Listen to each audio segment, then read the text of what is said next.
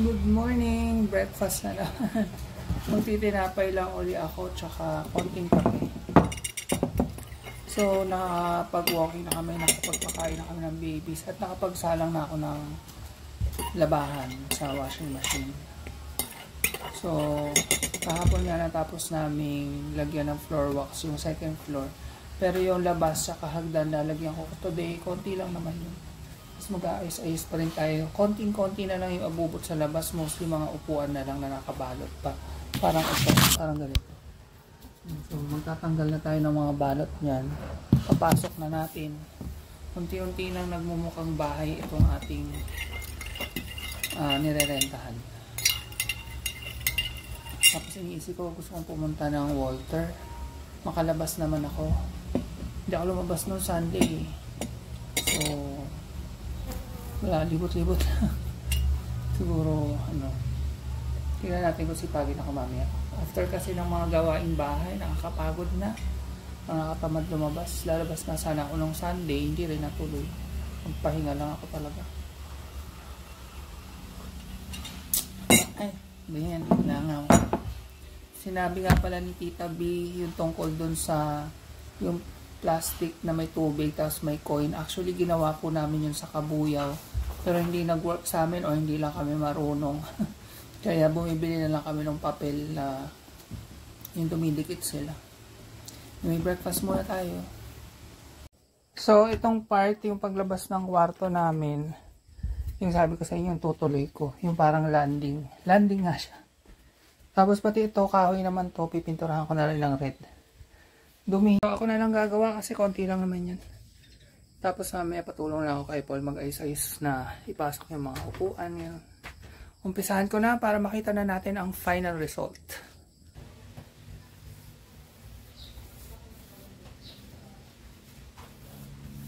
So habang hinihintay matuno, matuyo yung pintura sa taas, ang ingay ito mga to. Pag may dumadaan kasing aso, may iingay. Yan, papasok na namin tong mga upuan na kahoy. Tanggalan na natin ng wrap. Makasurvive naman sila. Pero itong lamesa, medyo maraming naging damage. Ayan, may gas-gas dyan. Ito din, gas-gas. Basta, yung lamesa ang sobrang na-damage. Pero, bebenta rin naman namin yan bago kami umalis dito. So, bahala na lang yung bibili yung magpaayos.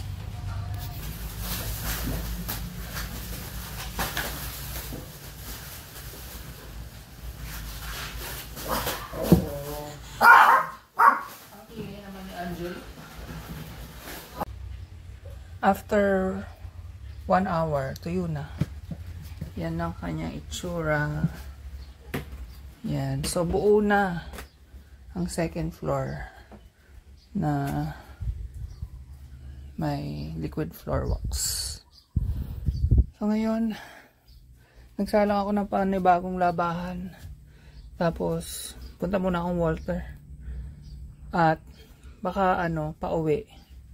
Mag-take out ako ng sisig doon sa vegetarian restaurant dito. So, on the way na ako sa Walter. Ako lang mag-isa kasi bantay nga si Paul. Samahan niyo ako. Short drive lang naman. Titingin ako ng mga organizer na pwedeng ilagay sa I mean, storage na pwedeng ilagay sa ilalim ng kama. Para yung mga cortina. Ay, shit, sorry. As I was saying, luma na pala yung cellphone holder ko dito sa sasakyan. So hindi ko pala kayo maisasama na habang nagda-drive ako. Ano na lang, basta ang bibilin ko sa Walter ay um, parang storage para sa mga cortina para dun sila sa ilalim ng ng kama. So maghanap ako ng storage na pwedeng ilagay sa ilalim ng kama. Basically yun yun. Mamaya na lang. Walter.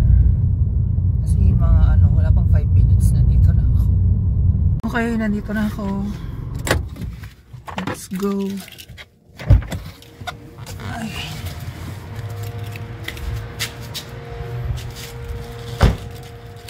Nalaki ba? OC ako kung na-OC ako minsan kung nataas ko yung handbrake. Anyway, ang maganda dito, covered yung parking. Nasabi ko na ata yun dati. Kailangan ko sana yung parang may takip.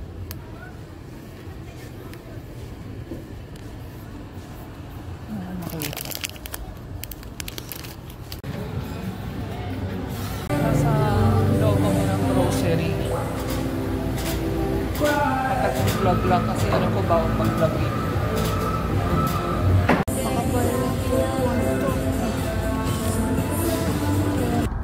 Nag nagawaan ko ng paraan itong aking lumang cellphone holder. Yan, okay na siya. Tapos, sabi ko na bawal mag-vlog doon eh. Kasi dati sa Walter Gapan, nasita na ako. Pero kanina, hindi naman ako nasita. Konti lang naman yung ano ko. Yung footage. Tapos, ano, in-announce sa tawag doon, yung parang speaker or may tawag ba doon? Na yun nga bawal daw mag picture baw kahit picture bawal bawal mag vlog so yun hindi na lang ako mag vlog vlog talaga pag nasa loob ako ng Volto so nag grocery muna ako. Konti lang naman binili ko. Kasi marami namang nabibili dun sa amin. Tapos ngayon hahanap pa yung prutas. Ang mahal ng prutas yan yung dalawang pirasong pears 170 yung apple apat na apple 160 parang ganun. Hanap ako sa labas. Kaso hindi ko alam kung saan. Anyway gusto ko rin ng rambutan tsaka lansones. Dun sa may malapit sa Tiaong. Katabi lang naman namin ng Tiaong. Chaong. Tiaong ako ng Tiaong. Chaong daw. Sabi ni wow ano? May nakita ako dati sorry umaano ata ito yan so baka masarapin tayo ng frutas tingnan ko bigla naman pong umulan ng malakas. So minto muna ako.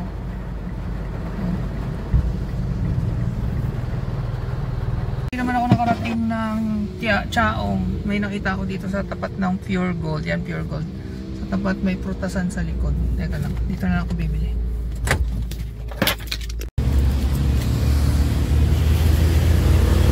may magkano sa grapes So nakabili naman akong prutas ito, isang kilong lansones. Diyos ko ginto, 150 ang kilo. Sa Chaong nakabili kami 100 lang. Sabi ko nga kay Mahal, sana pumunta lang pala akong Chaong. Yung mansanas pwede na 3.50 pero maliliit ito eh. So aning binili ko. Tapos peras, ayan, 40 pesos yung peras. Sabi ko tatlo 100, ayaw, ayaw patawan. Anyway, uwi na ako. Ay, hindi. Kakain muna ako sa vegetarian resto, resto yung Coco Deli na kinainan namin. Miss ko yung sisig doon. Sarap. So, ayan. Dito tayo sa Coco Deli. I'm back kasi na-favorite ko yung sisig nila.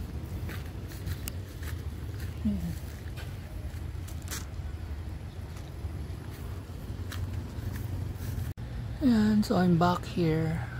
Same spot. Pero dati doon kami nakaupo. Ngayon dito naman ako para maiba naman. Pero may sandalan din. Ito na yung aking fresh buko juice. Yan na. Hinahanap-hanap ko talaga to. so may vlog naman na ako nung nandito ako.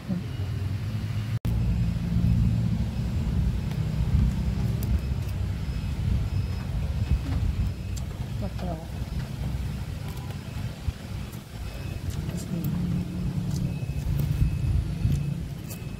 Sarap-sarap niya.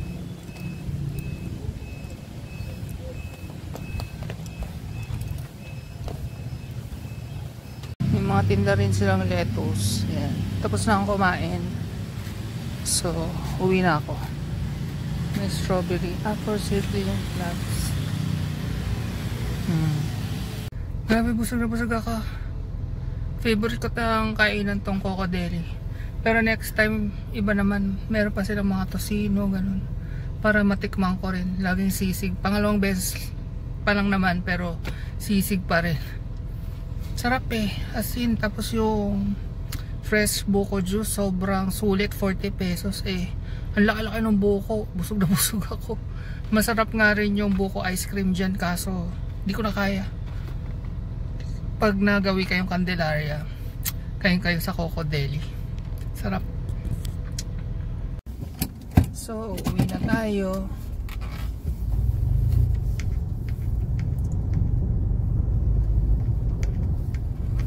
Ay, bahay na ako. Diyos ko. Hmm. Baby girl, magpalit tayong bedsheet mamaya. So, ito yung nabili ko. Wait lang. Si Panther daw ang model.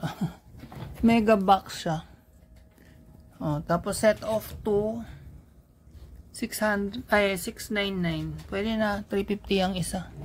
Malaki siya, maraming malalagay na kumot. Kasi napuno na ng kumot yun, no? Pang mga damit sana namin yan, eh. So, mag-ayos-ayos na ako. Para bumaba din yung kinain ko busog na busog talaga ako. Ang ganda niya, kasi may gulong pala siya sa ilalim. Hindi ko na-realize yun nung, nung binili ko. Binili ko lang siya dahil sa size niya. Feeling ko kasya sa kama. At saktong-sakto nga. Muntik na hindi magkasya. Ayan, sakto naman. Hmm. Pwede na. 3, 699. So, parang 349.50 ang isa.